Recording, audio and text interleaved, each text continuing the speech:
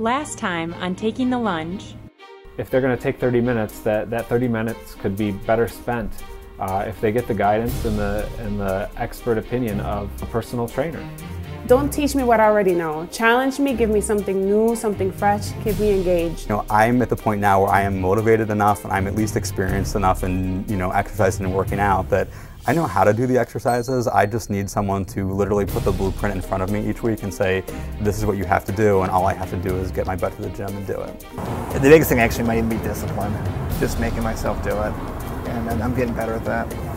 I have the attention span of a pea, so that's challenging for my trainer because I, I don't like to repeat exercises because I get bored. So it's kind of like, okay, next, give me one exercise. You can target the same muscle group. And I like working with Julie because she basically breaks it down for me. She tells me, she tells, all I have to do is follow it. You know, like she tells me how many to do, you know, what weights to use. This is the story of five people embarking on a unique fitness journey to achieve their individual goals for better health and wellness. Through the expert guidance of their own personal trainer, each is learning how to fit fitness into their everyday life and is taking the lunge toward a healthier lifestyle. This is pretty exciting. Fitness means to me that, you know, you feel good about yourself. Um, obviously, being an athlete my whole life, I've been used to being active, and it's just something that you can't really stop once you've been used to it because it becomes a daily part of your life. So, fitness has uh, always been part of my life, from dance right through fitness. It seems like um, I've made time for everything but myself and my fitness. I've never done a Weight Watchers or Jenny Craig. Most of what I've uh, what I've done has been more like shorter term you know, diets like, you know, two or three weeks before some kind of event or something and pretty much pretty much just been, you know, cutting out carbs. Then, because I was in my mid-20s, I just had to eat a little bit better and exercise every single day. And just by doing that, I was able to lose 13 pounds in about eight weeks. And of course, I was able to gain it right back shortly thereafter because everything good I was doing then just went out the window because I had a really short-term goal. My short-term goal, lose 10 pounds in eight weeks, and then after that, all bets are off my mom was obese and she was at 5'2 she was almost 300 pounds. And uh, you know she had uterine cancer at 33 she's had you know ovarian cancer at 47 she had you know a lump removed from her breast she's had a kidney transplant she has all the diseases that are you know sort of our population suffers from diabetes high blood pressure high cholesterol a stroke. She, she's still alive by the way thank god because i'm not ready to lose her. Fitness is not just a, a three month thing a six month thing, a nine month thing, a year. It's something that you should do for a lifetime because that's what's going to keep you healthy and, and keep you keep you doing all the things even into your, your golden years. I think when you get into like your 30s and things like that and you start uh, thinking, you know, your life gets bigger, you know, the world gets bigger, you know, there's, you know, mortgages and jobs and everything, you know, the first thing that people do is they take away things that have to do with themselves because they're so worried about everything else around them. But seeing her go through this so young to me was sort of a, you know, I don't want that. How do I change that? But I didn't I didn't know how. And the only way in which I know how to control my eating was to not eat. You know, like so many other people that don't make it a part of their permanent lifestyle, as soon as the marathon was done, I gained a ton of weight back. You know, anything they lost and more I gained back because I kept the bad eating habits, kept eating too much. But I wasn't running anymore. I wasn't doing the exercise. I need to have a goal. and need to have something I'm training for for me to go out for a run. So by the time I was 13, I picked up dance and I was enamored with dance. And so I wanted to look like these other little girls did, and I didn't. And I stopped eating and I developed an eating disorder. I became anorexic. I want to feel good about myself and I want to look good and um, at the same time, I'm not looking to be very buff, you know, I just want to be toned and, like I said, feel good about myself every day. Now, you know, it's, it's much more focused on, you know, a longer term meal plan, not necessarily a diet. I guess I guess you could call it a diet compared to you know what I would be eating you know if I didn't have any kind of plan in place. Um, but it's it's tough. I mean, it continues to be a, a struggle. I don't know how many people this, this feel this way too, but when you're younger, you work out and you get really fit, right? And you can kind of live off of that fitness for a long time, right? When you're like in your early 20s. And you live off of that fitness for six to eight months, right? As you get older, you work out this week and you miss two, three workouts in the week. And it's almost like, have you ever used those like, um, open those packets of biscuits and when you poke them on the side, all the stuff starts popping out? Have you seen that before? That's how I feel sometimes. And this time I mean it. Really want to make it a permanent lifestyle change where I'm exercising something every day. You know, whether it's an inerTRAIN workout, I did a 15 mile bike ride this morning, if it's going for a run, if it's doing some cardio at the gym, swimming, doing a workout on my own. I want to do a little bit of something every day. You should be thinking about yourself, you know, and your health first, and then everything else should fall in line. Um, because I'm noticing little things like um, a lot of times I work evenings or you know anything that I have like appointments or anything or like later in the day. So uh, I sleep late. You know, I would be like you know in bed till like you know 10 or 11. Well, now that I'm exercising and I have more energy, you know, I'm I'm waking up like at 7:30, 8 o'clock in the morning. You know, and I want to get started. You know, like I feel like I, you know, my day needs to get started. So that's what's exciting about it.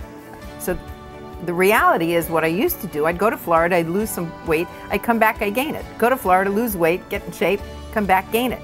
So this time, because I really hit my goal of getting to that size six, so when I came back, no way I'm gaining it. It's maintaining it.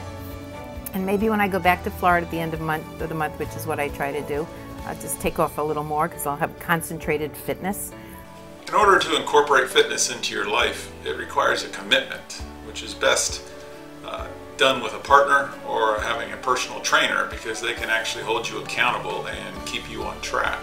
You know, everybody's going to have a little bit of a threshold in terms of, you know, cheating a little bit. You know, it just, you can't, you literally can't, you know, absolutely eat um, everything you intend to every meal like forever. Like it, it, there's going to be curveballs. There's going to be a time when you're on an airplane or you're in another country or you're in a meeting or, or, or at a party or and you just need to eat something. Um, and the key is is you know just what is the healthiest choice you know I can make within within reason. And I feel like when I don't work out, it's like somebody's poking me with a fork and the bit stuff starts coming out on the side. And so it's kind of a good motivation to you know get back on track because my fitness does not last as long as someone who is younger. So it's important that I stay on track and that I you know continue to do it, and not just um, you know do it right now and then, you know, fall off the wagon and come back two years later. How did this happen? I was so fit. You know, it happens one day at a time. Just like I did not gain this weight or I did not make this change overnight, you know, I'm not going to transition back overnight and I cannot pretend that I will fall off the wagon and not see changes, you know, as it may, in the opposite direction of where I want to see them.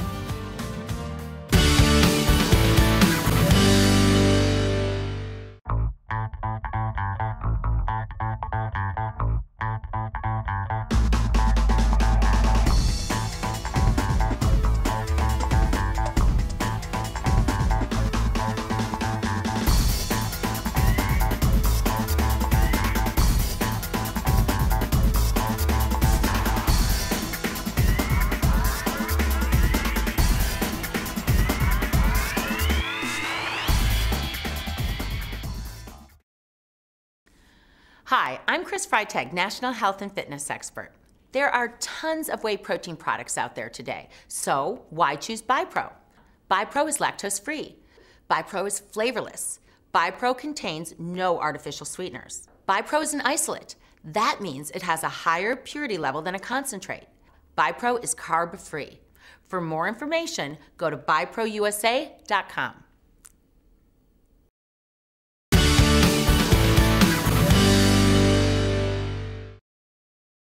historically speaking, I've struggled with my weight basically my whole life. You know, I grew up in a family that likes to eat and likes to eat food that isn't necessarily healthy. I'm not blaming who I am today on that or anything like that, but that's basically, that's my history. We fried food was good, lots of desserts, lots of cakes, lots of really fatty food is is what we liked. Um, and so, you know, I've been working out. I participated in athletics when I was in high school, junior high and high school and that helped keep me in shape because you're doing it as part of a sport. You're not doing it just to work out, just to lose weight. And of course, you go away to college. You put on the freshman 15, at least I did, and uh, you know, you're on your own. You're eating too much. You're drinking too much. That's when I really learned that I need to control what I'm doing and to regularly go to a gym try to keep in shape. To lead a truly healthful life forever, basically, you want to think of uh, your life as a circle, and there's three components to that circle the physical, nutritional, and recreational. The physical is your hard workouts that you do two to three times a week. The recreational is something you do for fun, like doing a yoga class, taking a bike ride, going for a swim, throwing a frisbee, uh, going on a nice long walk or a hike. Uh, those help mentally as well. And then the nutritional is obviously your eating habits and putting them all together and, and staying on the healthy path. Then I went through a couple times when I was able to lose weight relatively quickly. Uh, but the first time was in my mid 20s, and three of us did a weight loss bet. It may seem, seem silly, but we did a weight loss bet where we were trying to lose 10 pounds. And you know, fortunately, I was the one who did lose 10 pounds. One guy, I lost 13. One guy lost about five. One gained three. He gave up early. And, the way I did it then, because I was in my mid 20s, I just had to eat a little bit better and exercise every single day. And just by doing that, I was able to lose 13 pounds in about eight weeks. And of course, I was able to gain it right back shortly thereafter because everything good I was doing then just went out the window because I had a really short-term goal. My short-term goal, lose 10 pounds in eight weeks, and then after that, all bets are off, literally this time. And uh, I did it a couple more times in my later 20s and early 30s where I get into an exercise routine or get into, you know, I have a short-term goal where I was able to, to, to make some changes, make some improvements in my life. And I, I wasn't just losing weight, I was getting fitter. There, there's no doubt about it. A couple of times you know, I found in my, my later 20s that weight resistance training, weightlifting, is also really important for losing fat. Uh, may not show as much on the scale, but you can definitely see it when you're losing inches around your waist or just absolutely being fitter. And um, you know, those times, it was a little more, um, stuck with me a little bit longer. At the same time, it still was short term, and as soon as the holidays would come around or I'd lose focus, I'd gain the weight right back. From the get go, I knew he was going to be, um, you know, in charge, able to fit in his workouts. Um, he gave me a timeline at the very beginning when we started working out together, you know, training together. So, um, you know, his has been twice a week with me. Um, he's been very religious with it. He's been very persistent with his workouts. I also found, and maybe I touched on this, that the first time, all I had to do was do cardio every day and eat a little bit better, and I was able to lose weight.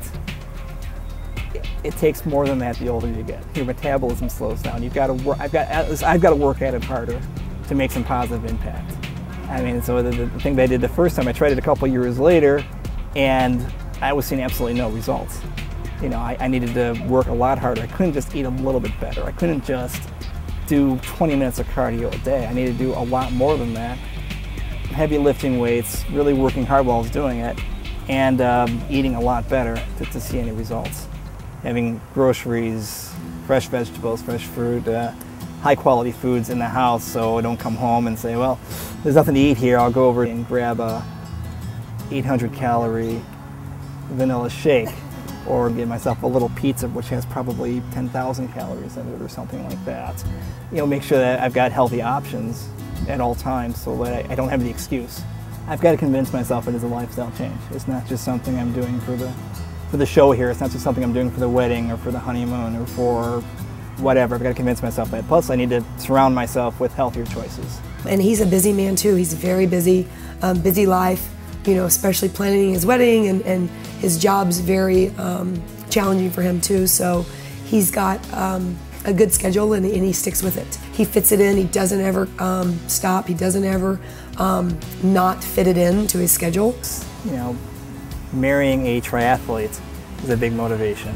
You know, the fact that she's able to get up and you know go for a swim a couple times a week, go for a run a couple times a week, go for a bike ride, not quite as often, but uh, does all of these things. I want to be able to do some of those with her. You know, maybe not to run so much, definitely not to swim, but the bike ride is good. She she's extremely active, so I'd like to be able to keep up with her. Um, you know, she's done half Ironman competitions. her majority of her friends are either have either done Ironmans or half Ironmans or some sort of triathlons, or they run marathons, or they, they do runs together. It, it's, it's part of her social circle, and for me to fit in, it's important for me to at least be able, be able to, to go for a bike ride with them and keep up. To be able to you know go for a run every once in a while. I'm not going to run another marathon. Said it there. It's on video. Not going to happen. Um, I may I may do a short triathlon someday. You know because I do enjoy the biking. I enjoy shorter runs, and um, well, I need to learn to swim for distance. You know, swimming for me is like a sprint, but that's a different issue. Um, but, but, but, to be able to, to, do some of these things and to, to, to, hang with that social circle, I think is, is, is important for me. We've talked about do I care if he does triathlons, which I don't care. Um, I want him to like support me in doing that, um, but I really would like him to be able to go out and go for bike rides or go for a run because mm-hmm. um, I want I want him to be there for a long time, and I guess it brings me so much joy that my hope is that if we can get into a routine, I think the hard part is getting into the habit. Mm. It's not necessarily maintaining the habit, it's building the habit. Because once you have that energy from it, then my hope is that will help it um, continue on. Mm-hmm. He needs to make this, you know, a lifestyle change and, and make it about the rest of his life. I mean, he's about to get married, he's about to start another part of his life that's super important. You know, he's again, he's made great strides so far. He's made great changes, um, nutrition-wise. Um, he's definitely gotten a, a, heck of a lot stronger. Eating habits is where I, I, I haven't shown a whole lot of progress, and I need to I need to make some progress there. I, I haven't gotten to the point where I'm I'm not craving high protein, low fat foods. I'm not craving you know low sugar, whole grains. I, I still like my bad for your food. So that's a place where I want to show some improvement, I'll be honest. And, the way I was raised, we, we love, covet bad for you food in my family. And especially when I get together with them, it's, it's not, oh, here, let's, let's, let's have a really healthy meal. It's kind of like, uh, why are you only having one burger? Something wrong? Why did you get half a milkshake? You should have gotten a full milkshake. It's more economical. So, um, yeah, my, my history has been very much geared toward high fat, high sugar foods, and I know that I need to improve that. So I think for us, the infrastructure mm. is being dedicated or have a routine on the weekends mm. where we go through that process of kind of thinking ahead through the week since we both work. What are we going to have for dinner? On certain nights so that you don't get home and say, okay, what's for dinner? Because as soon as what's for dinner, well, the things that are right down the street become mm. the easy thing that that's for dinner versus okay, it's Tuesday, and on Tuesday we were going to have Asian salad. Mm-hmm. I'm not a big fan of crash diet or exercise programs simply because they don't focus on the long term. Now, if you have it to get ready for a wedding or a, or a reunion or something, then they might serve uh, a purpose. But usually you end up gaining more weight back after you stop because it's too hard of a program to maintain, and sometimes you might even get injured, which is even worse. Stick to a stick to a, just a more sensible approach that you can live with long term. Again, just thinking about what he's doing before it happens and making the smart choices and knowing those choices are um, something that he's going to have to, to make and always make for the rest of his life to reduce stress, to reduce, you know, any of the his, you know, high blood pressure or high cholesterol or any of those things that are going to um, be a factor in someone's life exercise, nutrition um, are key, and you and you've got to have them in your life. Oh, the good thing for us is the wedding's in October, and the honeymoon's not until March. So there's no getting fat right after the wedding. Well, we got the honeymoon in New Zealand coming up uh, several months later, so I've got to keep in shape for that. it's a joke. Um, you know, I, I want to turn this into a lifestyle where I'm, you know, someone who is active and is in shape all the time. I don't want to be someone that's afraid to take his shirt off at the beach. I know it's vanity, but it's true. I don't want to go down on the beach and be the guy that wants to keep his shirt on because, well, because. I think that the challenge is going to be making sure that Mark understands that this is a lifestyle. Mm-hmm. Mm-hmm. That maybe we're going to have to come up with some other short term interim goals mm-hmm. or always having a goal. Right.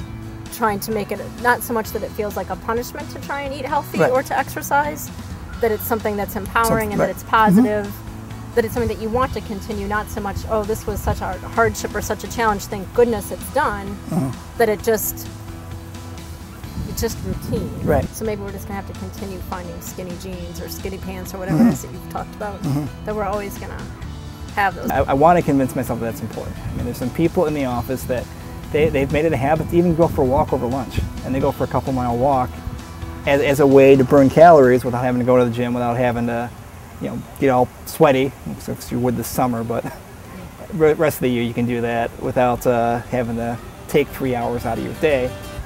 And, and, and I need to improve that. I need to get to the point where I'm, I'm doing that every day, or, or frankly most days. But, but not in that, not just for those activities. If we're on vacation and we're at a location where we're going to go hiking, I don't want to be left behind. I don't want to be, you know, watching her walk along and I'm, you know, after 20 minutes or so, I'm losing my breath. I can't keep up. I want to, I want to, I want to be healthy. I want to be fit. I want to, I want to be able to keep up. I want to, well, I want to be leading actually, but one step at a time. I at least want to be able to keep up. And you know, it, it's concern when you're with someone who competes in activities, and um, I don't, I don't want it to be a concern. I want it to be something that's like, yeah, I got this.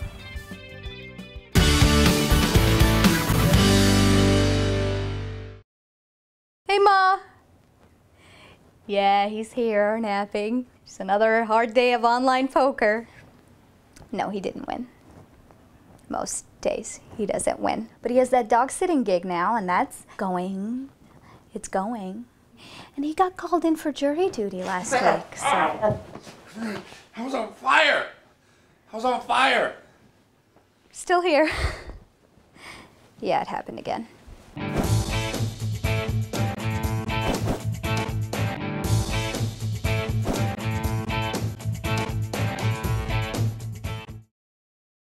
Catalyst Ranch is a creative meetings and event space in the heart of Chicago's West Loop. Catalyst Ranch offers two floors and over 9,000 square feet of distinctive meeting and event spaces to delight your senses and spark your imagination. Catalyst Ranch is also the perfect place for a one of a kind special event. Catalyst Ranch creates a customized experience for all.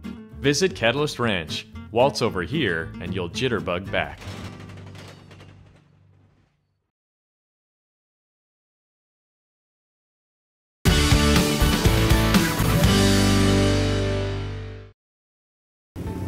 You know, because I've always been involved with something fitness. Like I've been dancing since I was four, and then I enjoyed a career as a dancer. I was in fitness, and then I when I owned my health club, and I was an aerobic instructor and traveled the country.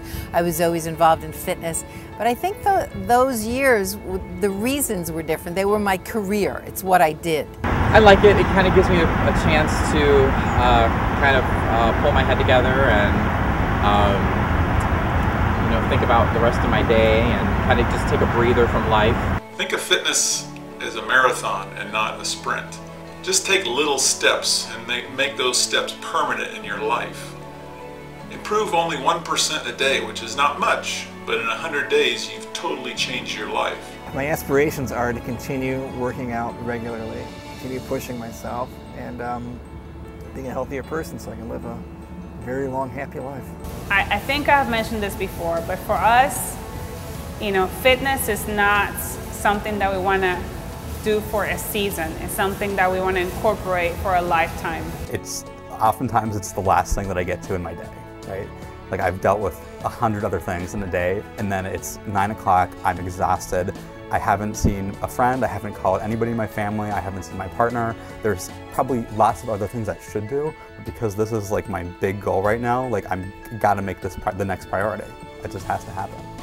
It's a little little jewel inside the city, little park area where you can get away from the, the monotony for a little while. It's, it's part of our family. It's something that we want to build as a legacy for our children, right? So it's not just, you know, that I'm doing this challenge today because we're on camera, but it's really, truly something that we want our children to learn, to incorporate, to understand that it is important and that you must, you know, incorporate it into whatever your lifestyle is. All of us are in the same boat. I mean, you can start a program and even reach your goal, but then what are you going to do after that? You know, are you just going to stop? You're going to stop working with the trainer? Are you going to stop going to the gym? um, just because you're set and you're and you've actually you know met your goals. Um, most of us need to make another goal. I, I want to enjoy the the golden years, if that's what it is. You know, I, I don't want to be, you know, working until I'm 65 and then be in either horrible shape or not live very long after that because I haven't taken care of myself. So you have to break the cycle. Like, what, what's going to be the trigger, and for which generation is going to trigger that change? You know, and I believe that it's us. It can be us, right? That we trigger that change for our families and for our communities, right? At this stage of life, it's my choice because, as I said, I'm, you know, I'm in that last, uh, I'm in the third quarter. I'm not in the third third because that would be my last third. I didn't like that. I'm in the third quarter. So I like to think that now, I, I know, I don't think, it's all about health and longevity. It's good to know that you're not, you're not alone in these struggles, that there's other people out there um, with you that go through these same things.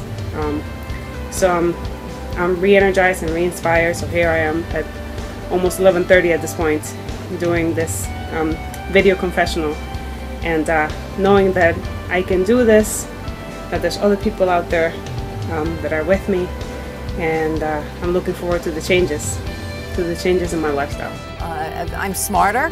I, I know what I eat and how I exercise is definitely going to prolong my life, and that's what I'm all about now.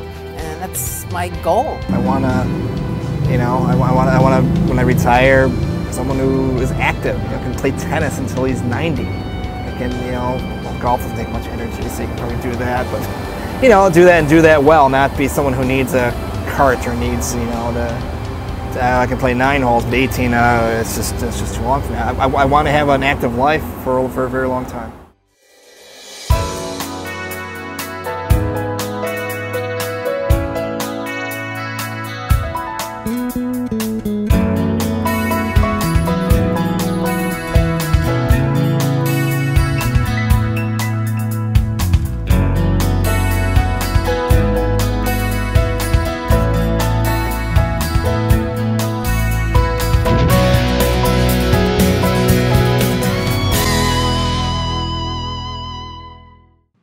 Thanks for watching.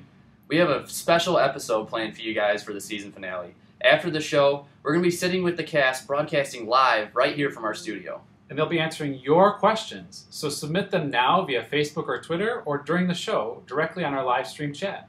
Doesn't get any more interactive than that, does it? It doesn't. And keep sending us your lunges. Post them on our Facebook wall because we want to include them in the final credits. It's your last chance. So don't forget to tune in next week at 8 p.m. Central Time.